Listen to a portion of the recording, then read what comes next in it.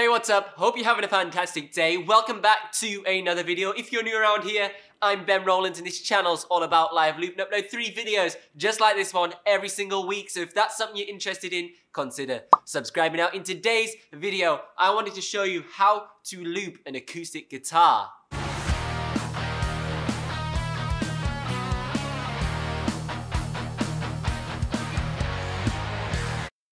So if you can't tell, I've bought myself some brand new lighting. I think it looks quite good. You can see me, you can see the rig. I think it's got a bit of definition to it. Now let me know in the comment section down below if you're feeling this new lighting setup. We'll get there eventually where we nail it, but I'm just playing about with it at the moment. But continuing on from episode one of Loop Pedal Basics, where I showed you how to correctly set up your looper station and set all the correct input and output levels for the highest possible audio quality. We're now actually going to finally record our first ever loop.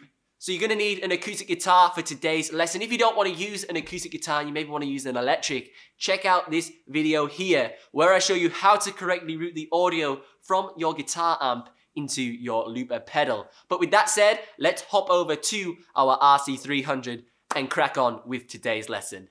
So we're ready to go, got the acoustic guitar plugged in and our loop pedal set up. Now the chords we're going to play are going to be dead simple. You don't need anything fancy, you don't need a capo, and you don't need to do any fancy tunings, but just in standard tuning.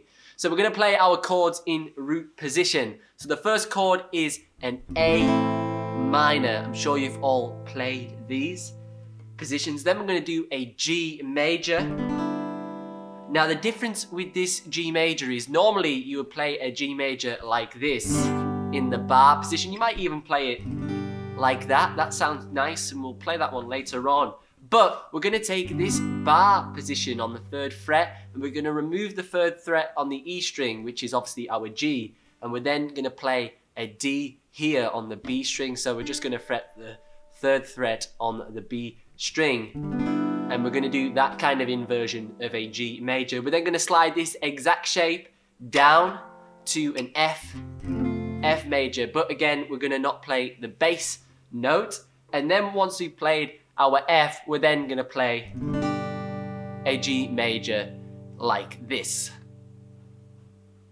So this is all the chords together. A minor, G major, F major, and then a G major.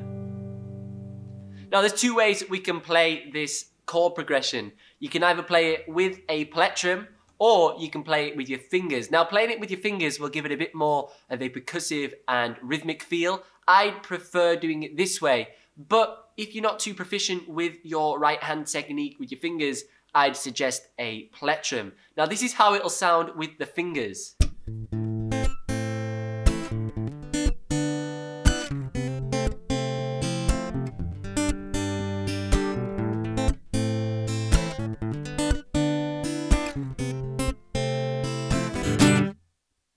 Like that. Or with a plectrum, you can do it like this.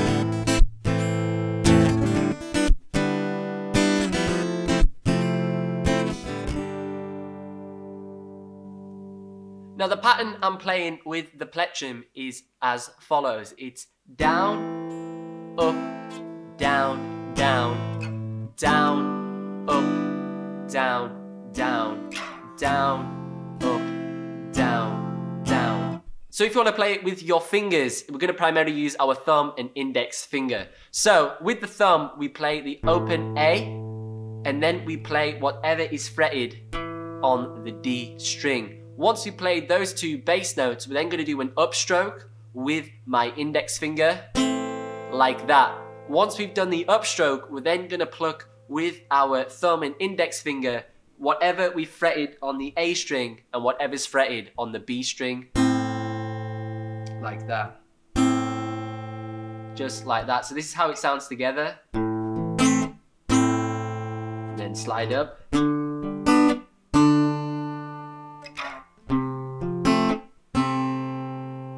then strike the final chord.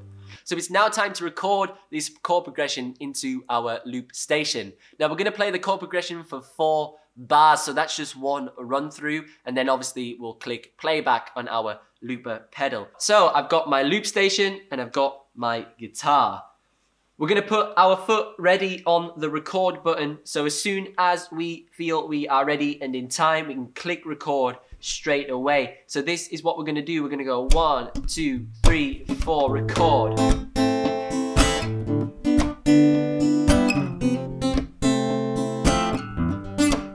And record.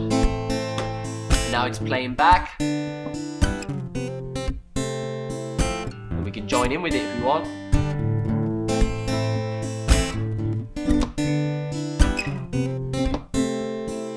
overdub it, maybe add in some downstrokes.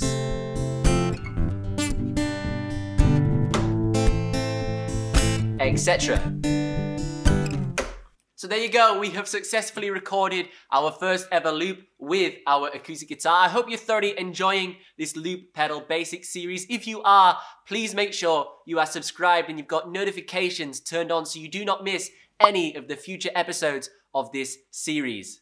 Thank you so much for watching. I hope you thoroughly enjoyed the video. If you did, please consider leaving me a like and a subscribe. My channel's all about live looping, upload live looping tutorials, live looping performances every Tuesday, Thursday, and now Saturdays. I've been Ben Rowlands. You can find me online at benrowlandsmusic.com. If you want to learn more about live looping, check out this video here, and I'll see you in the next one.